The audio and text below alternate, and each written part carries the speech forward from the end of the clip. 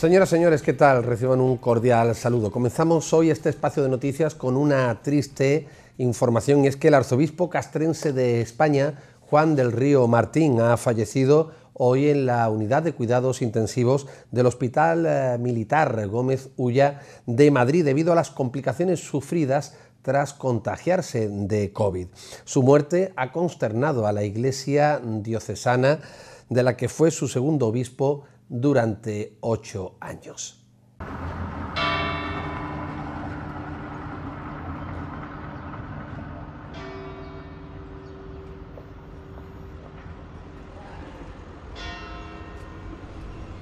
De esta manera sonaban este mediodía las campanas de la catedral tras conocerse el fallecimiento de Monseñor del Río, quien fuera segundo obispo de la diócesis asidonense del año 2000 al 2008, desempeñando con posterioridad en Madrid el cargo de arzobispo castrense de España.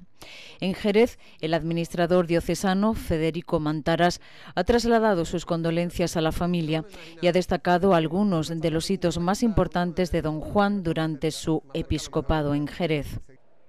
Don Juan ha sido nuestro obispo durante nueve años. A él le tocó estructurar nuestra diócesis, las delegaciones, la curia, organizarlo todo. Y él lo supo hacer muy bien. Tenía esa capacidad de sacarle el máximo partido a las cualidades de cada persona. Él también se, se dedicó a la formación de los laicos, del clero, fundó el Instituto de Ciencias Religiosas, y hizo esta gran obra del obispado. Mantaras ha anunciado que cuando las circunstancias lo permitan se hará en la catedral una misa funeral por su eterno descanso. Desde el Consejo Local de Cofradías de Jerez también se ha lamentado la muerte de Del Río y se ha pedido una oración a todos los cofrades por el eterno descanso de su alma, reconociendo además la labor pastoral y el cariño que profesó siempre al pueblo de Jerez y a las cofradías de nuestra tierra. Cabe recordar que Monseñor del Río tuvo que ser ingresado el pasado día 21 de enero tras ser aconsejado por los médicos del Hospital Militar al contraer COVID-19. Su ingreso se efectuó para un mayor control de la enfermedad y como medida preventiva. Finalmente, la evolución no fue favorable y tras sucesivas complicaciones que no pudo superar, fallecía en la mañana de este jueves. Descanse en paz. Imamen Sánchez, alcaldesa de Jerez, ha mostrado su pesar por el fallecimiento de Juan del Río, nada más conocer la noticia en el transcurso del pleno telemático que se ha celebrado hoy en nuestra ciudad. La alcaldesa, en nombre de todo el Pleno y de Jerez, ha trasladado sus condolencias a la familia y ha reiterado el cariño de la ciudad hacia su persona y el reconocimiento a la labor que durante su episcopado hizo y realizó en Jerez. Mandar todo el reconocimiento y el coreño de esta ciudad hacia su persona y también hacia toda la labor que, ha hecho, llevando siempre, también en el Ministerio de Defensa, allá donde, donde ha estado, pues el, el, reconocimiento que siempre le hemos tenido a la ciudad y el cariño con que se le acogió.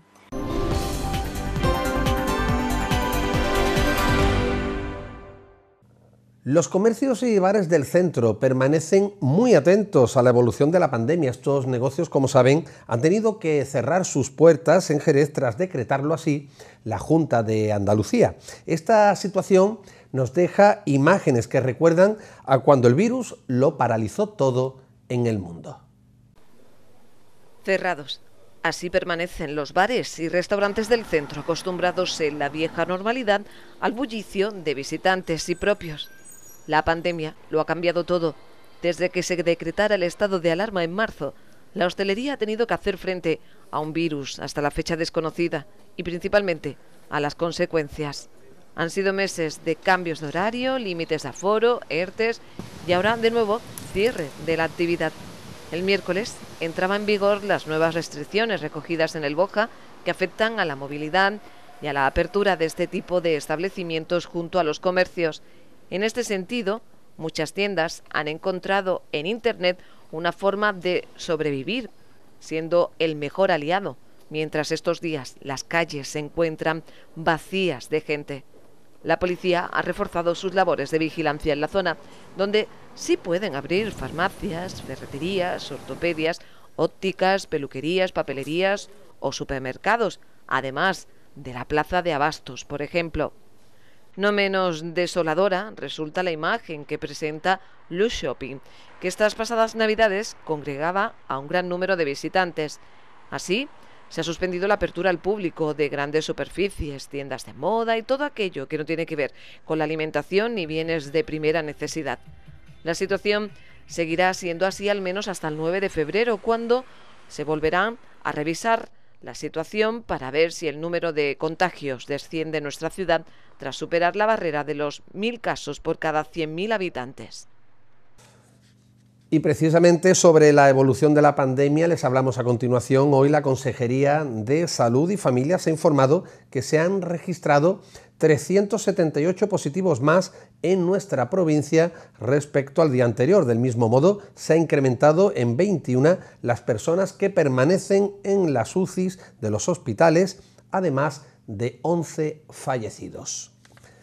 Y seguimos adelante. Les contamos que la OCU insiste en la seguridad de las mascarillas higiénicas. En España las mascarillas higiénicas homologadas ofrecen una protección equiparable a las mascarillas quirúrgicas según apuntan desde la Organización de Consumidores y Usuarios, desde donde afirman que las higiénicas desechables y reutilizables garantizan una eficacia de filtración de al menos un 95% y un 90% respectivamente.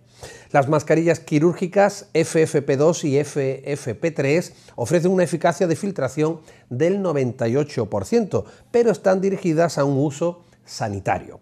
Con todo, la OCU mantiene su campaña almohadilla mascarillas para todos y recuerda que las higiénicas desechables pueden encontrarse desde 0,15 euros la unidad, mientras que las quirúrgicas rara vez bajan de los 0,40 céntimos de euro.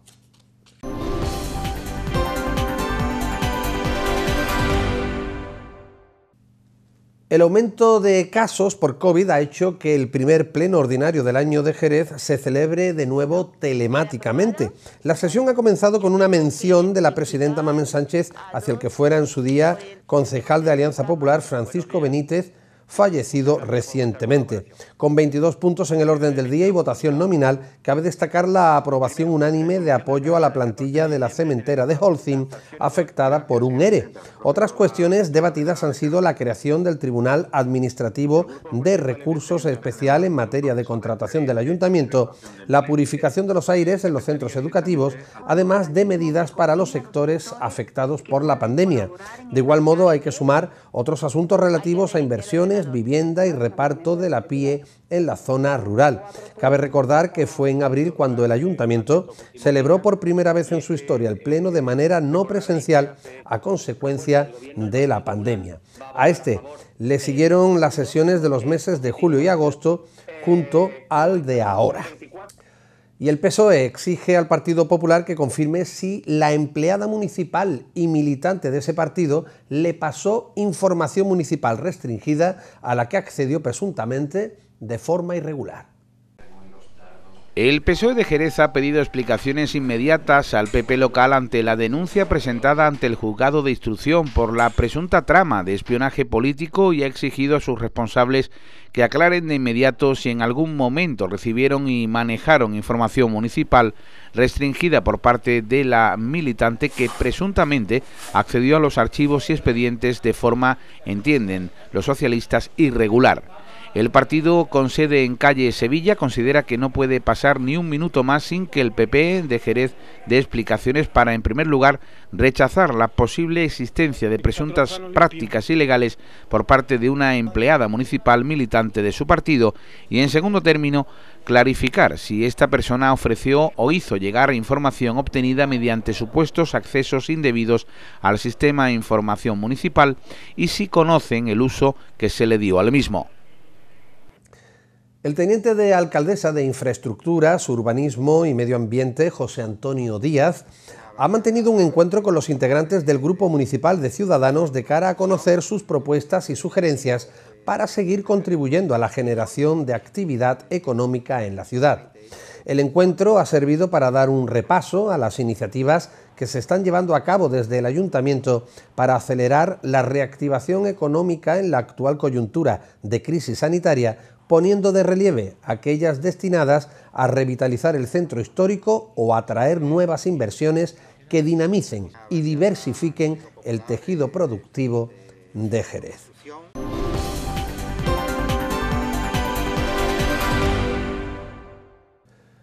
El próximo lunes se retoman las obras del eje Corredera-Esteve. Así lo ha comunicado el teniente de alcaldesa de urbanismo José Antonio Díaz, tras acordar con los sectores del comercio, hostelería y taxi dar continuidad a este proyecto en el menor plazo de tiempo posible. Las obras de regeneración del eje viario de las calles Corredera, Plaza Esteve, Santa María y Cerrón se retomarán el próximo lunes 1 de febrero. Así lo ha anunciado el teniente de alcaldesa de urbanismo, José Antonio Díaz, que acordó a mediados de mes con los sectores de comerciantes, hosteleros y taxistas dar continuidad a este proyecto en el menor plazo de tiempo posible. Una vez retomada la previsión es que se prolonguen por espacio de mes y medio aproximadamente.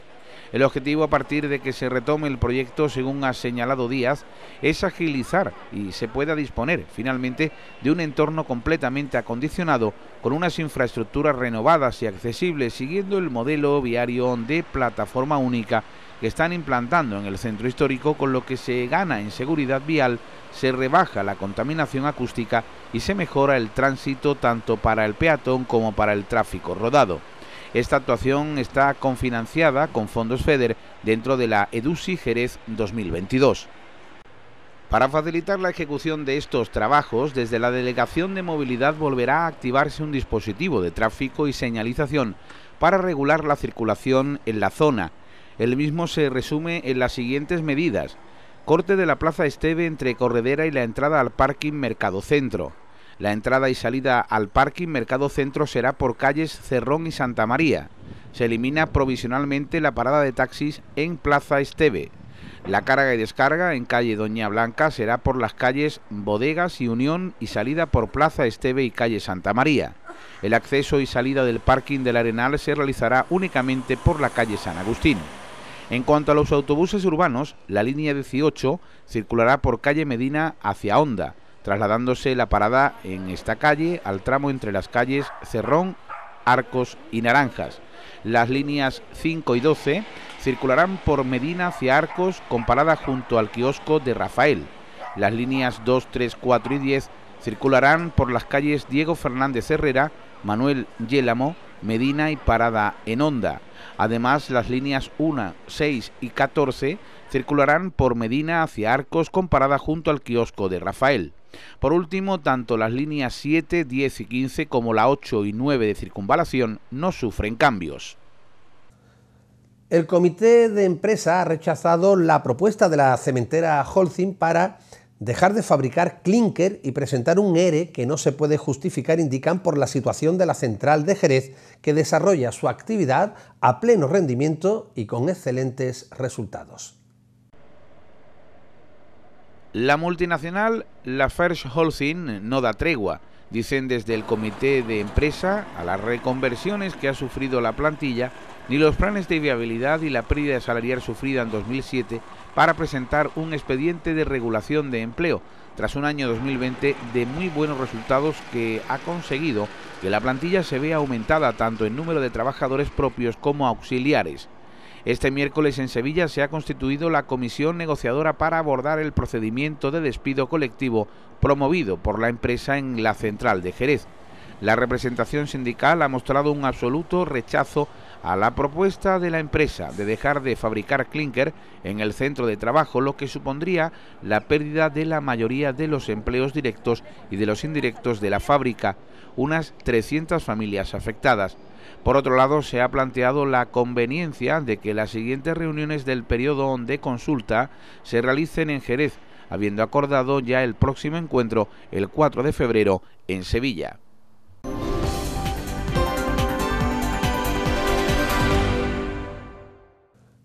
La Policía Nacional ha detenido a una familia que utilizaba su domicilio para la venta de droga en una vivienda de protección oficial de Nuevo Cerro Fruto. Los detenidos son tres hermanos y su madre, que según las investigaciones colaboraba supuestamente también en las actividades de sus hijos.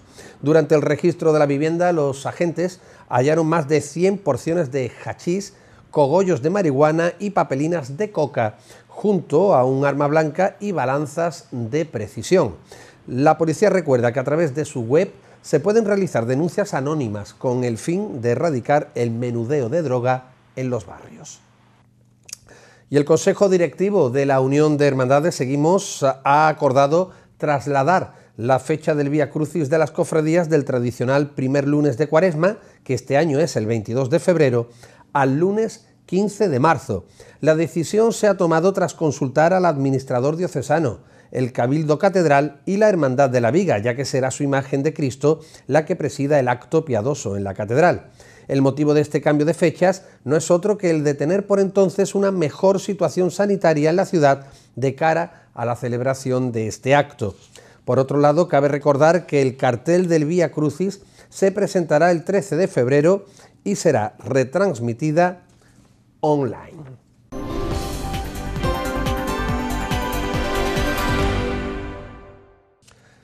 La Real Escuela volverá a acoger este año la Copa del Rey de Doma Vaquera. Será del 1 al 4 de julio. El vicepresidente de la Junta de Andalucía, Juan Marín, considera que esta designación refuerza el liderazgo de Jerez en el mundo del caballo.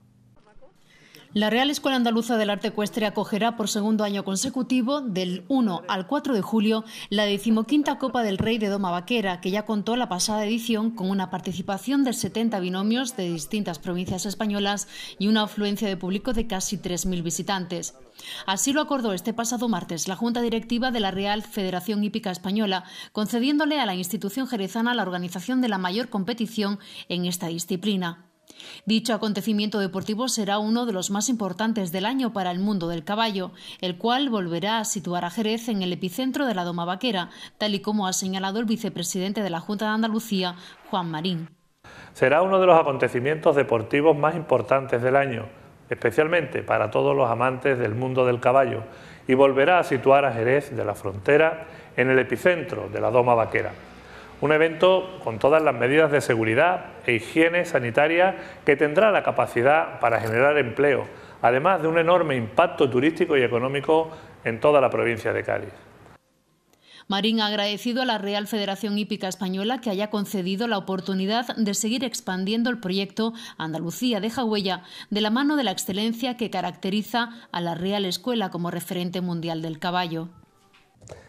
Y vamos ya con el deporte. El encuentro Jerez Industrial Trebujena del próximo domingo ha sido aplazado tras dar el visto bueno la Federación Gaditana a la petición realizada por el Club Trebujenero, en el que argumentaba que cuenta con varios casos de COVID y futbolistas confinados. Por otro lado, el central blanqueazul Rubén Olid ha sido sancionado con seis partidos tras ser expulsado en el choque ante el Recreativo Portuense. El colegiado señaló en el acta que le dio una patada en la boca a un contrario, provocándole una hemorragia y le ha caído dicha sanción. A pesar de presentar un vídeo demostrando que no fue así, competición no lo ha tenido en cuenta. Ahora el club estudia llegar al comité de alegación, al menos competición si le ha retirado la roja a Juanjo Durán y podrá estar en el banquillo en el próximo encuentro. Y los aficionados al ciclismo deben saber que la edición número 67 de la Vuelta Ciclista Andalucía, conocida popularmente como la Ruta del Sol, se ha aplazado por motivos de seguridad sanitarias. La empresa organizadora de Porinter ha informado que ante la actual situación de pandemia han tomado esta decisión preventiva de no disputarla en la fecha prevista del 17 al 21 de febrero. Así se lo han hecho saber a la UCI, la Unión Ciclista Internacional, y además le han solicitado que se pueda celebrar del 24 al 28 de mayo.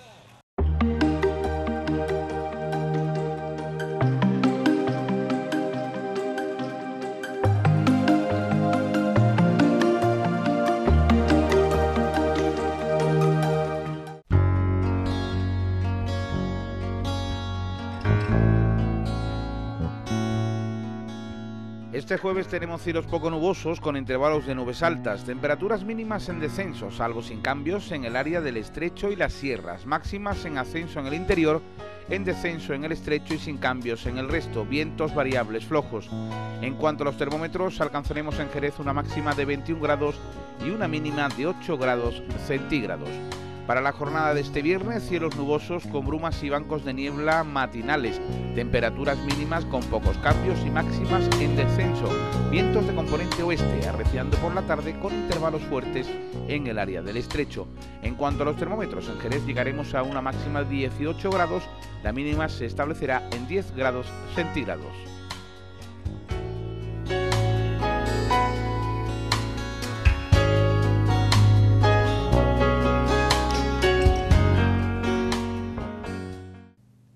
Y en estos últimos instantes de este espacio de noticias les contamos que el pasado 23 de enero la Sala Compañía cogió la primera cita del ciclo de música de cámara de jóvenes intérpretes Jerez Suena Joven, con la joven violinista jerezana Irene Ortega Álvarez en la dirección artística.